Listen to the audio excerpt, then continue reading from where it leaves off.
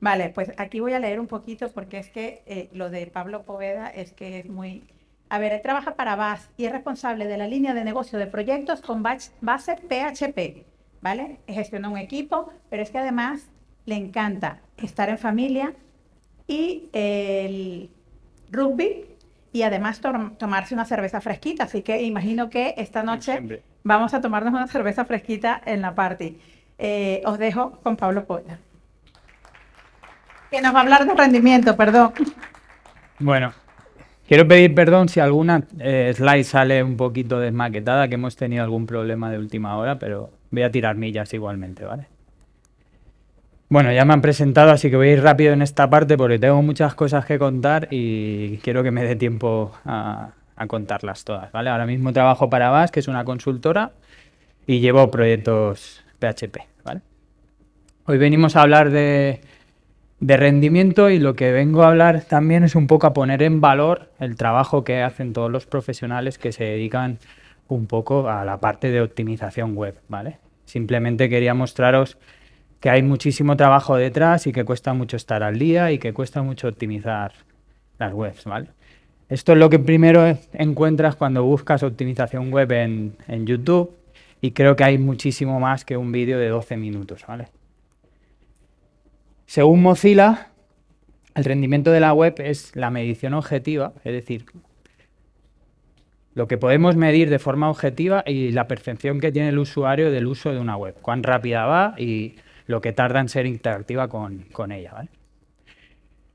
Vamos a entender un poco rápidamente cómo funciona la petición HTTP, que es la unidad mínima de medida que tenemos que tomar. Empezando por la parte de hosting, que tenéis aquí un montón de hostings a los que preguntar luego por qué es tan importante. La, la, base de nuestra, de nuestra web reside ahí. Luego tenemos una capa de datos, donde vamos a ir guardando la persistencia de datos y demás. La parte de la aplicación, que está el servidor web, está WordPress, está la parte de WebEcli, cualquier software externo va a estar en esa capa. Y luego ya por último tenemos arriba la parte de proxy, balanceadores, CDN, ¿vale? Cualquier petición lo primero que hace es resolver un DNS, enrutamos la petición, se procesa la petición, se cachea si se puede cachear, se prepara una respuesta, se vuelve a cachear esa respuesta si lo necesitamos, se presenta el documento final y se sirve, ¿vale? Donde más foco vamos a poner los que nos dedicamos a la optimización es en procesar la petición, cuán rápido vamos a hacer que esa petición se procese y la parte de presentación, cómo vamos a presentar todos los datos que tenemos que, darle al usuario. Todo ese circuito forma el time to first byte o lo que viene a ser lo que tarda la petición en devolverte el primer dato a procesar. No voy a entrar mucho en detalle aquí, pero sí que es cierto que una de las partes muy importantes aquí es el hosting, ¿vale? Y todos los factores que hay detrás a la hora de elegir un hosting. Por favor, los que tengáis dudas acerca de hosting, hay profesionales aquí fuera que han venido a patrocinar la WordCamp y podéis preguntarle todo lo que necesitéis, ¿vale? Lo mismo a la hora de eh, Proxy Caché. Pues bueno, al final nos ayuda a incrementar tiempos, eh, la parte de seguridad, de protocolos, a balancear cargas si lo necesitamos, a servir respuestas rápidas a través de una CDN, ¿vale? Al final, lo que intentamos hacer es descargar a nuestro servidor a través de otros servidores que ponemos por delante para que éste no sufra tanto, ¿vale? Luego tenemos aquí una parte importante que después voy a desarrollar en base a ejemplos, en la que tenemos que cuidar, ¿vale? Aquí es donde instalamos todos los plugins, donde tenemos que medir nuestros accesos a base de datos, eh, controlar la caché, reglas de, redirecciones, integraciones que hacemos. Todo eso suma a la hora de que nuestra web sea más rápida o más lenta. A diferencia del dibujo anterior, aquí cuando estamos procesando ya le metemos carga a nuestro servidor. ¿vale? Y luego, por último, la capa de presentación, que aquí es donde hay miles de presentaciones que hablan de lo que debe pesar una web, que tiene que pesar poco, el peso de las imágenes, optimizar las imágenes, los números de, número de cargas de CSS, de JavaScript, minificar CSS, JS, en fin.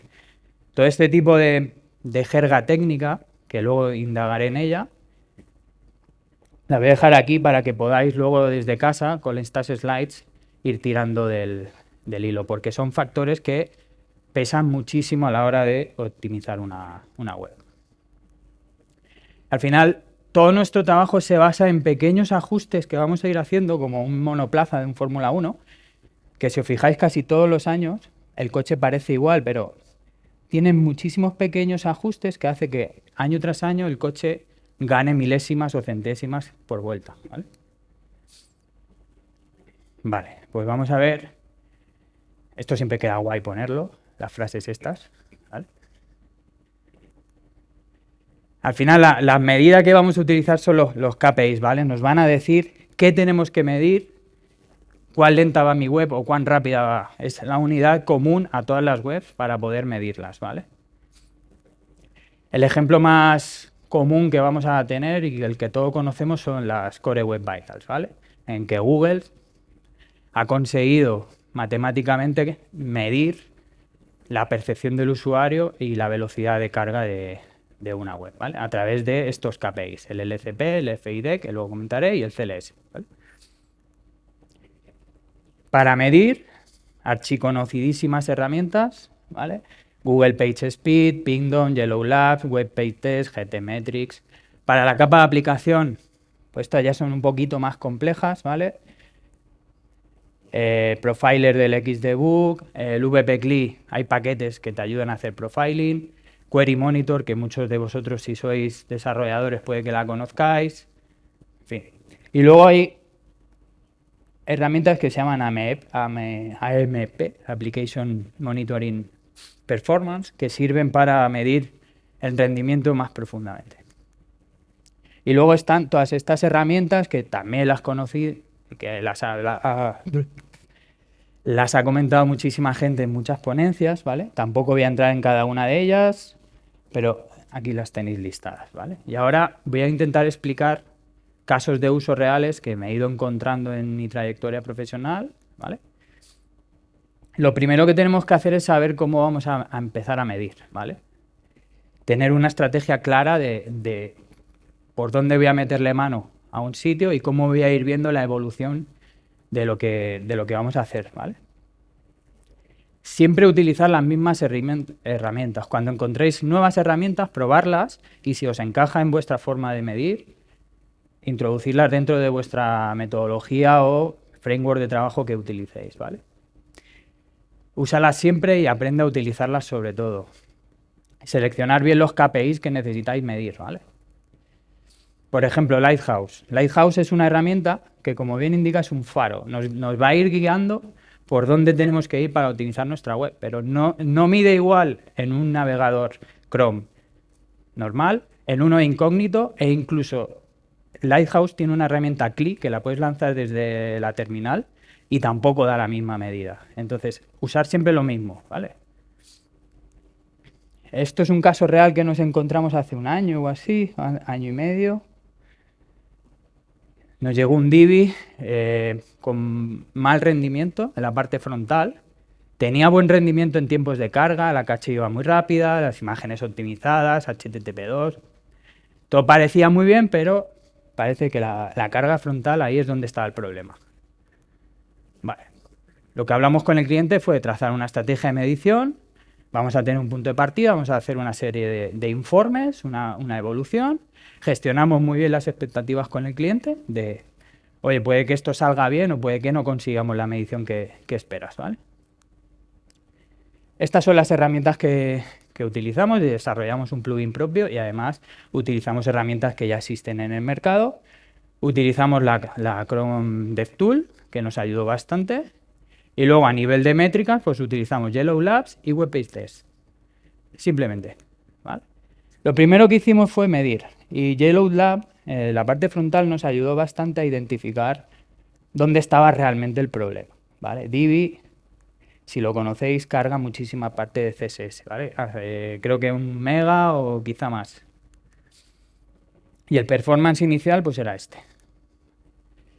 Aprendimos a utilizar Lighthouse y a ver cuánto pesaban las métricas, ¿vale? Pues nos ayudó los ponderajes a saber, bueno, ¿Dónde debíamos atacar más? Por ejemplo, el total blocking time, que pesa 30%, me va a ayudar a tener un mejor rendimiento que si le dedico tiempo al FCP o al Speed Index.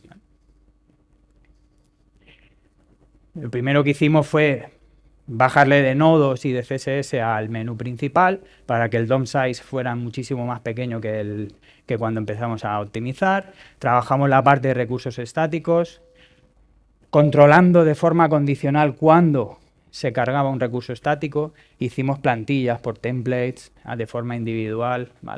Optimizamos la carga de JS y de CSS, combinando, quitando JS que sobraban, poniendo eh, asyncs, defers. Profundizamos mucho en la optimización de CSS. Vimos que en Divi casi el 80% de las clases que tiene sobran, porque no se utilizan. Entonces encontramos una manera de limpiar esa CSS sin modificar la original, ¿vale? Entonces conseguimos reducir hasta un 86% el peso de la CSS de Divi. Eso nos ayudó bastante a mejorar el rendimiento, ¿vale? Porque Lighthouse es muy listo, conoce todo lo que se carga en la web a nivel de detalle, ¿vale? optimizamos la fuente, la iconografía, optimizamos las imágenes, pasamos formatos de JPEG, PNG a WebP y a formatos quizá más, más recientes, ¿vale? Utilizamos Lazy Load, ojito con los tag managers, que es los carga el diablo, pesan muchísimo, te pueden reventar el rendimiento, de, iba a decir una cosa, pero no es. Te pueden reventar el rendimiento de, una web, ¿vale? Reducimos el peso utilizando herramientas de compresión, optimizando las imágenes, utilizando las directivas de caché que nos ofrece el HT Access.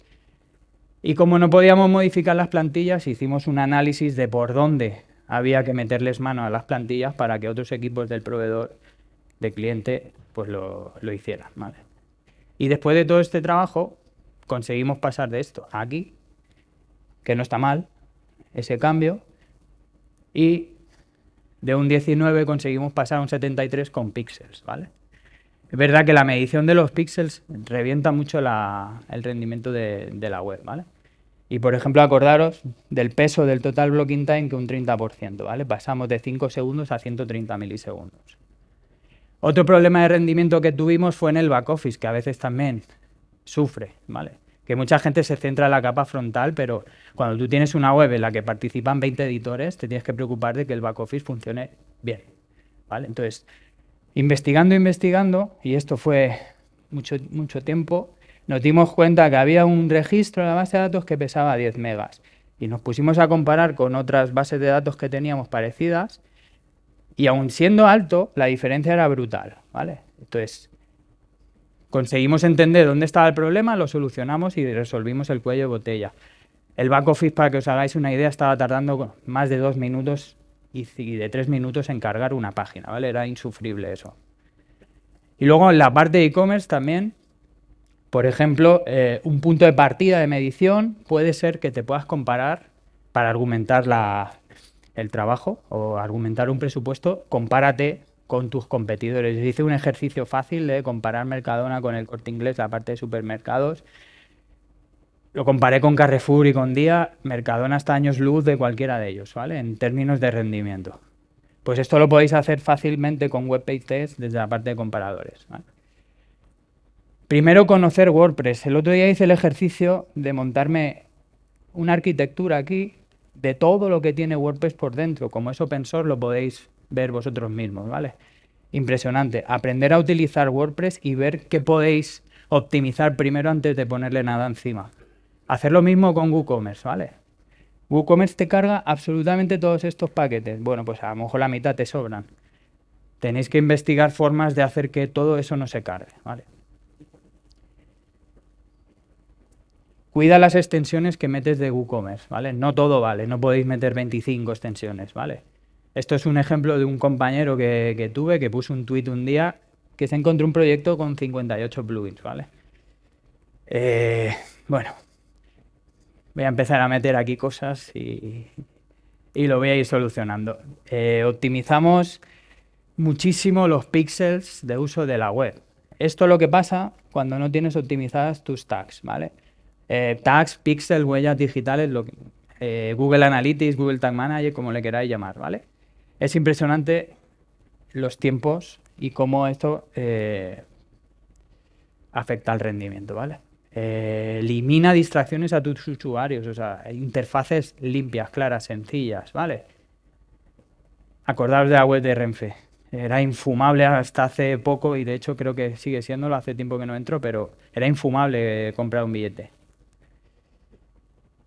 Monitoriza en el tiempo. Esta es una captura de una herramienta que estoy trasteando últimamente, se llama Debug VR y la verdad es que es bastante potente a nivel de, de herramienta porque te ayuda a visualizar cosas y entender cosas que están pasando en tu web de una forma bastante sencilla. Hace tiempo hicimos un caso también de rendimiento y usando el profiler de, de XDebug nos dimos cuenta que la lectura de los ficheros POMO era muy lenta. El otro día buscando me encontré con, con este hilo de GitHub, por lo visto sigue abierto, eh, de febrero del 2014. La lectura de ficheros POMO cuando son muy pesados hace que el tiempo de respuesta se incremente. ¿vale? Eh, cachear HTML, por ejemplo, cacheamos la parte del header, la parte del footer y elementos comunes de la página que, no, que son, digamos, que cuesta procesarlos porque un header de un de un e-commerce, un menú, eh, es muy complejo. Entonces, si cacheas ese HTML, luego lo puedes servir de forma rápida, ¿vale? No hace falta procesar ese menú una y otra vez por cada petición, ¿vale? Optimizamos el, Ajax. Eh, ¿Cómo? Pues utilizando la, eh, la, característica de Sortini de WordPress o incluso a veces ni siquiera cargando WordPress, porque a veces tirando con queries nativas contra MySQL puedes obtener el mismo resultado, ¿vale? Al final reduces el TTF. Modificamos muchísimas plantillas para hacerlas mucho más simples, ¿vale? Con eso conseguimos reducir CSS y JS, ¿vale? Eh, hacer el checkout en un paso, un formulario con muchos menos campos de los que necesitas, ¿vale? Minimizamos el número de reglas de rewrite rules, que son eh, las reglas que necesita WordPress para entender las peticiones que le, que le llegan al, servidor, ¿vale? Cada CPT genera un montón de reglas. Si sabéis la, si encontráis la forma, podéis hacer que esas reglas desaparezcan y la petición se resolverá mucho más rápido.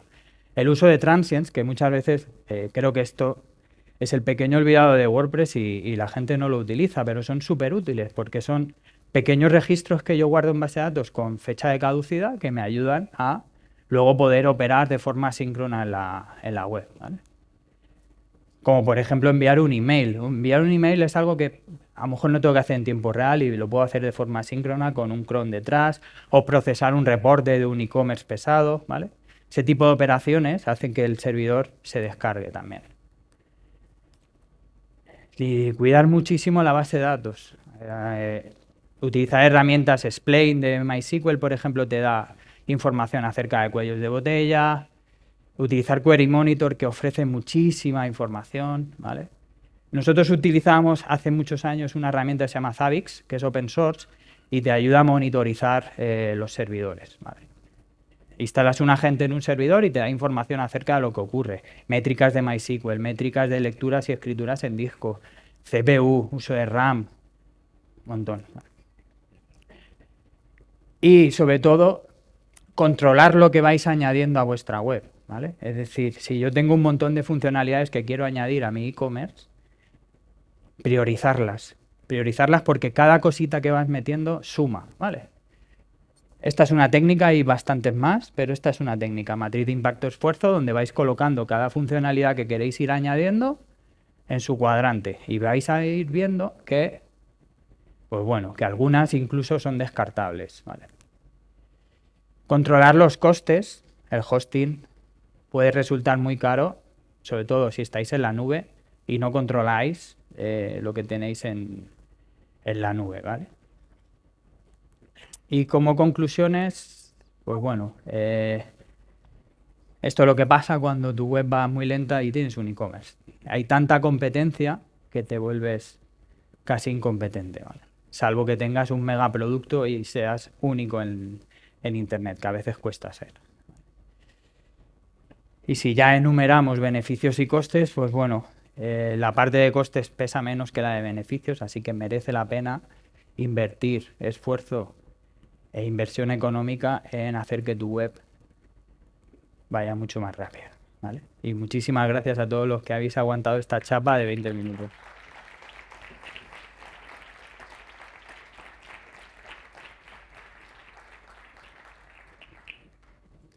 No sé si alguien quiere preguntar algo, no sé si hay tiempo de preguntas.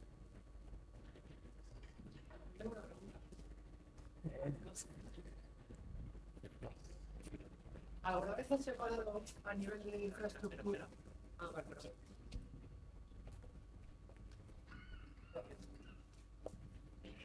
Muchas gracias por todos los hilos que nos has dejado para tirar. Mucho curro. Eh, mi pregunta es, ¿alguna vez has separado a nivel de infraestructura el backend del front? ¿Y hay algún motivo para no hacerlo? Lo puedes hacer con WordPress, lo puedes, puedes hacer headless. ¿vale? Motivo para no hacerlo, si tienes una web normal con visitas normales, es decir, algo sencillo, creo que no te merece la pena por todo el coste que puede haber detrás y porque vas a necesitar seguramente un equipo de desarrolladores para que te lo implemente, ¿vale? O utilizar algún servicio que exista, que sea capaz de hacer modo headless y tendrás que pagarlo también, ¿vale? Pero para una web sencilla, creo que con un tema de WordPress eh, debería ser suficiente, ¿vale? Vale, pero en, en teoría no hay problema en separarlo, ¿no? No, Vale. pero vas a tener que conocer qué estás haciendo, ¿vale? Pues las llamadas a las APIs, el paradigma cambia un poquito, ¿vale? No, no sé si hay otra pregunta, yo me extiendo. ¿Hay más? Dale, Venga, por allí. dale, dale. Vale. Es que es, es- es un tema muy técnico, es, da para, para más tiempo. Disculpa si he ido muy rápido porque da mucha información. Sí, bueno, agradecido por la cantidad de tips. Y sobre el first input delay y el Sí. caso, ah, en el- el- el- un escritorio vendría muy bien, es una estrategia bastante buena, sobre todo para engañar a herramientas como Google. Y, y viene muy bien cuando el usuario hace una acción. ¿Puedes acercar? Cuando el usuario hace una acción, en el ratón viene muy bien, pero cuando eh, nos llevamos eso a un dispositivo móvil, eh, la mejor estrategia siempre va a ser un timeout en JavaScript o hay alguna otra alternativa ¿Para qué? Es que la parte de para, principio no para te... retrasar el, el first input delay en un, en un dispositivo móvil, que no hay interacción por parte de un ratón, Sí. eh, lo mejor siempre es hacer un, un, un timeout en JavaScript o hay alguna otra alternativa. L- Lo primero es reducir la cantidad de JavaScript que vas a utilizar. Es decir, y retrasarla sobre todo, ¿vale? Para que la capa de presentación se muestre antes al usuario, incluso de ser interactiva la web. Y sobre todo, el- lo que va a ver el usuario, eso que tenga la menor cantidad de JavaScript para que sea muchísimo menos dinámico y el usuario interactúe con la web lo más rápido posible. Con eso vas a hacer que el, que el Fast Input Delay eh, se baje bastante. Pero si no hay, si no hay una interacción en el, en el móvil, no hay. Al final sí hay interacción porque el hacer que un, que un botón se muestre, por ejemplo, si utilizas un builder, le va a aplicar cierto JavaScript ahí, lo quieras o no, porque al final los builders colocan los elementos muchas veces utilizando JavaScript, cosa que no he entendido nunca, pero a veces pasa, ¿vale? Entonces, ese tipo de cosas hay que ir puliéndolas para que no, no ocurra, ¿vale? Entonces, si lo haces todo con CSS y HTML, no va a haber problema. Gracias.